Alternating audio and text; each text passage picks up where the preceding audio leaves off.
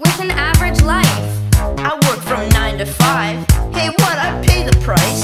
All I want is to be left alone in my average home. But why do I always feel